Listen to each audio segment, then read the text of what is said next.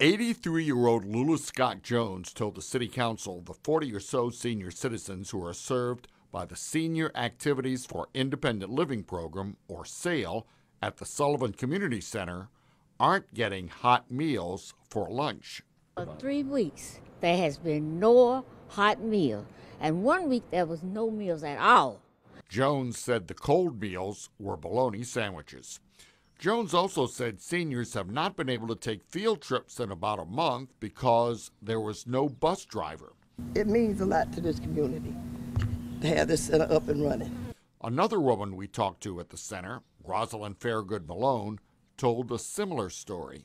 We haven't been able to go places. People that are normally picked up are not being picked up to come to the center. Malone said this was the second time in three years the center has had personnel problems that stopped programs.